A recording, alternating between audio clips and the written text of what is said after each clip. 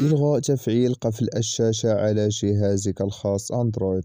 اليوم سوف نتعرف على طريقة وكيفية إلغاء هذه الميزة من خلال اتباع مجموعة من الطرق سوف نقوم بها للتعرف على هذه الطريقة على جهازك الخاص أندرويد.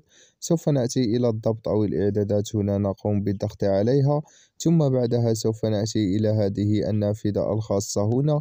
نأتي إلى الأصوات والإهتزاز نقوم بالضغط عليها. ثم بعدها سوف نأتي إلى هذه النافذة الخاصة نقوم بالنزول إلى الأسفل. نأتي إلى التحكم بالإهتزاز وصوت النظام نقوم بالضغط عليه ثم نأتي إلى إلغاء قفل الشاشة. هنا نقوم بإلغاء تفعيلها من خلال الضغط على العلامة الزرقاء. وهنا أصبحت بهذا الشكل يعني تم إلغاء تفعيل قفل الشاشة على جهازك الخاص أندرويد. وهنا نكون قد انتهينا من هذا الفيديو. لا تنسوا الاشتراك والضغط على زر لايك ونلتقي في فيديو آخر إن شاء الله.